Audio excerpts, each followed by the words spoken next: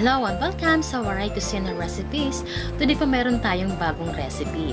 Ito ay ang quick and easy pancit palabok. Ito po yung ating mga ingredients na kakailanganin sa paggawa ng ating palabok.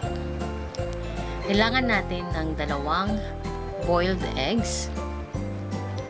Kailangan din natin ng hipon, first ang ginamit ko dito. And then, kailangan din natin ng 200 grams na chicken breast. Tapos, slice lang ito ng maninipis. And then, green onions. And then, yung ating mamasitas palabok gravy mix.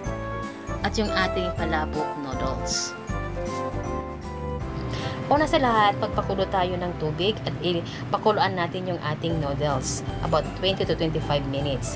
Sa isang frying pan naman, maglagay tayo ng dalawang tablespoon ng mantika. Pagkatapos, stir fry natin yung ating marinated chicken. So, haluin lang natin ito hanggang sa mag-brown na yung kulay ng ating chicken at saka totally cooked na siya. So, ang ating chicken pala ay marinated, iminarin ko siya sa ano, black pepper, uh, paprika powder, at saka salt, at kunting uh, uh, flour, and 1 tablespoon of oil.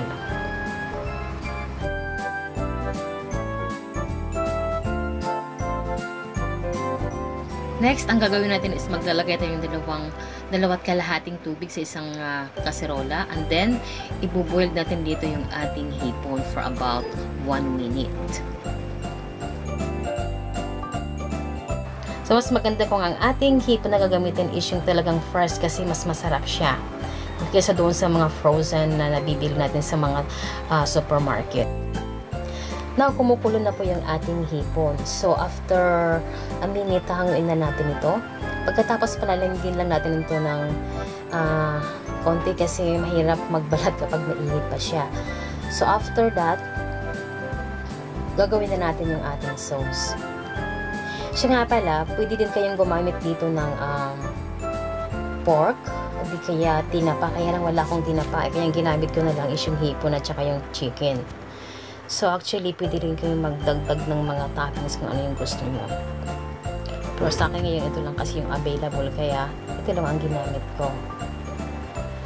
So, pagkatapos natin palatan yung ating hipon, i-ready na natin yung ating uh, mamasitas palabok powder sauce.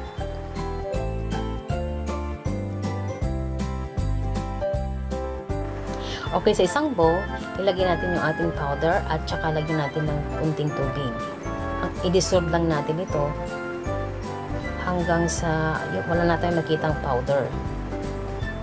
Pagkatapos, i-add natin ito doon sa tubig na pinakuluan natin, kung saan pinakuluan natin yung ating hipon.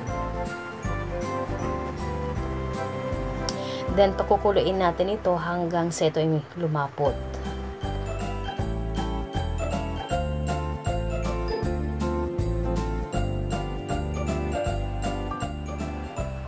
Dapat continuous ang ating paghalo sa ating gravy para hindi ito magbuo-buo.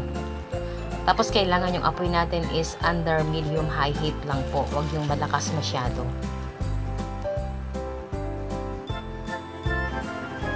So yung kumukulo na siya, tapos sa papatayin na natin yung apoy. And then, ito na yung ating mamasitas sauce. Sinalagay na natin sa ating cooked noodles. So, ganyan. Make sure lang natin na lahat ng noodles ay malagyan ng sauce. So, napakadili lang po. Hindi na tayo na mahirapan pag ng sauce. Ready, ready na po. And then, mag-toppings na tayo. Una nalagay natin yung ating chicken. Ayan, spread lang natin. Pwede rin kayo maglagay ng garlic, uh, fried garlic.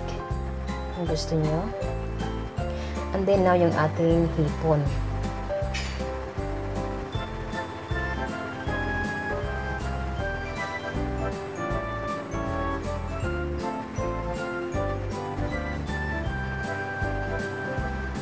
Pagkatapos yung ating um, sliced boiled eggs.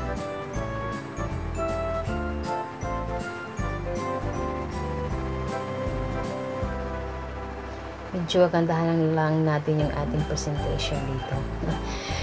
Optional lang po ito.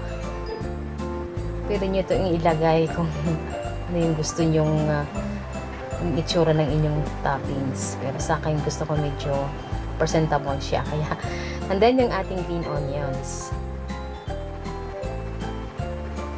Yan. Napakaganda ng ating palabok. Simple but look delicious and yummy. Ito na yung ating finished product. So, naglagay din tayo dito ng sliced lemon. Wala kasi akong kalamansi kaya lemon ang ginamit ko. Kaya, mm, excited na akong tikman ng ating pansit palabok. Ayan. So, ini-invite ko po kayo na mag-try yung ating recipe. Napakasimple lang po nito. At ako po yung nagpapasalamat sa lahat po ng mga subscribe sa aking channel at sa mga doon po na first time lang napanood yung aking mga videos, subscribe po kayo with notification bell. And I will see you in my next video. Bye-bye!